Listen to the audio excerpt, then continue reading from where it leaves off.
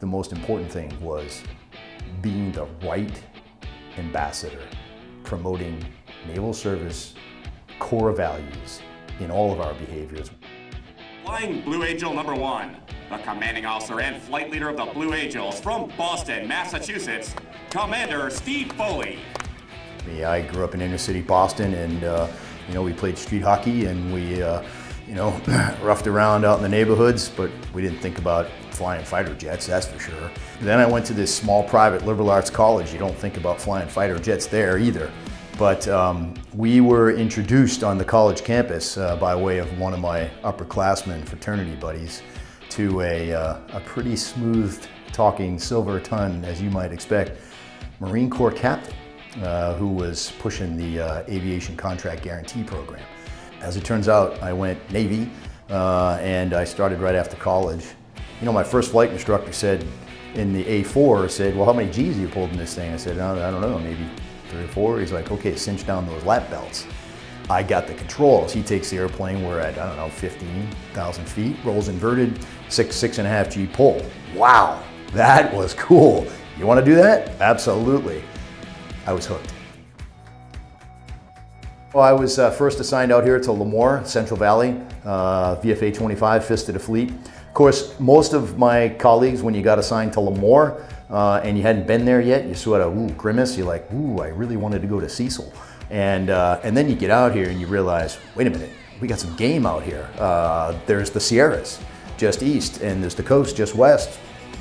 What a terrific area to fly airplanes. And you know, what better way to get upside down in an airplane than out over the Mojave Desert training to get some of your buds. That was my, uh, you know, initial sort of uh, 10 or so years and had an opportunity to serve down at Miramar in the capacity of uh, a Top Gun instructor. I looked at that like it was, it was taking on a master's and a PhD simultaneously, and I think any one of my colleagues who were in that organization would uh, vouch the same.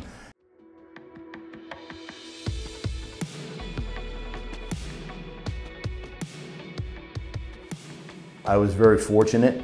You know, my colleagues that we showed up together down in Corpus Christi, Texas on a Monday or a Sunday night, I think it was, and uh, we were running into each other at the airport, all applicants for this same job. Uh, I think there were six or seven of us. And we weren't sure we were going to make it through the next day interview because they almost kicked us out of the uh, out of the housing complex. We were making a little too much noise, apparently, regaling some tall tales and stories from our previous, you know, 15 or 20 years. So you might imagine we're best of friends.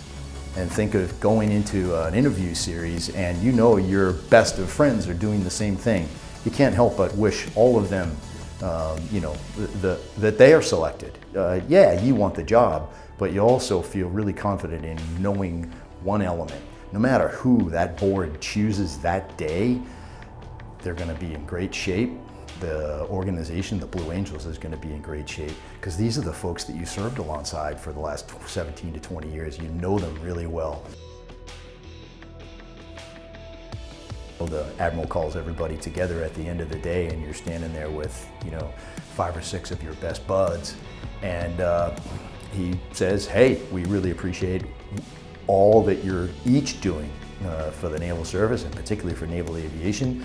Wish you the best in your follow-on command assignments and major command assignments. Uh, and tough decision, we had to make a call and we picked, and you know, they call you out. We, and for the next two years, Axel's going to lead the Blue Angels. And, uh, you know, that's a pretty humbling feeling.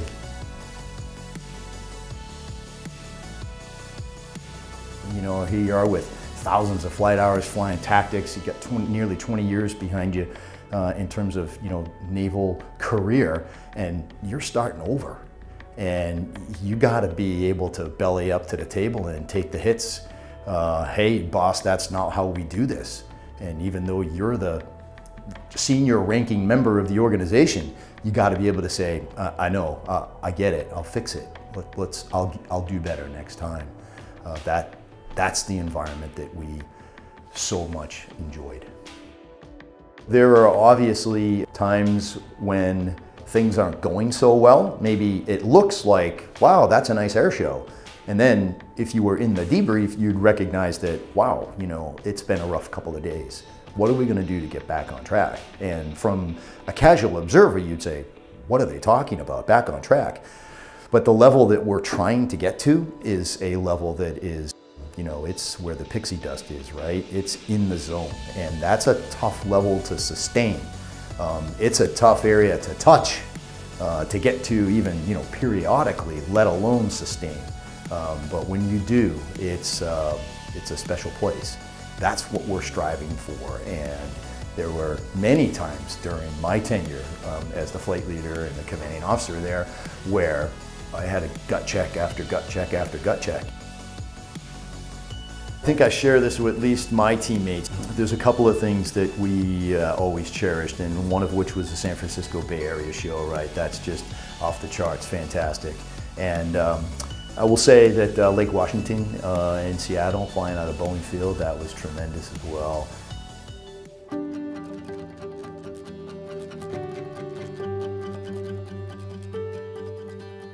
The most impactful, the most memorable um, of all of the events that I flew with the Blue Angels, and I think my colleagues and teammates would say the same, was the opportunity that we had to support the flyover event, the memorial service event at Fort Ord for Butch Voris. That was a very, very special moment and opportunity. I remember that event like it was yesterday. We flew out of San Francisco International.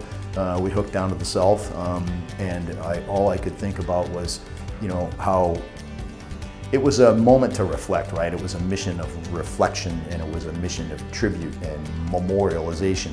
So that was so impactful. And also in the back of my head was, you better roll out on centerline, if you will, and, and make this flyover, you know, happen and not be, you know, 300 feet to the right or to the left, but, you know, execute the flyover. And uh, it's like finding a needle in a haystack from the water seven miles or five or seven miles out in front of the Fort Ord Chapel, you know, buried in some trees. Um, our maintenance officer was there, a little flick of the mirror, and uh, we knew that we were in the right location. So a wonderful tribute, and um, that was a, a very, very uh, special time for us. Afternoon, ladies and gentlemen. Your United States Navy Flight Demonstration Squadron takes pleasure in performing for you this our 26th flight demonstration of the 2006 season. Kevin Kojak Davis was uh, larger than life and uh, just a, a, a, great naval aviator, a great officer, and uh, obviously a, a great American. There's probably not a day that goes by where you don't have some thought about those folks that you lost to, to a mission and that's certainly the case for, for me and my teammates and I, um, I, I cherish the memories and the opportunity that I had to spend with, uh, with Kojak. He was uh, tough as nails and um, he was somebody that, you know, as a 20-year naval officer, I was inspired by Kojak. That, I think, for me, was telling and I know that he inspired so many others around him, and we all feel um, uh, we all feel a great debt of gratitude to what he brought to the table day in and day out, and um, we remember him with with uh, you know very very fond memories. You're reminded every day that the Blue Angel organization is, is really just another Navy squadron another naval squadron, in, in this case, you know, Naval Aviation Unit. Uh, no different than others.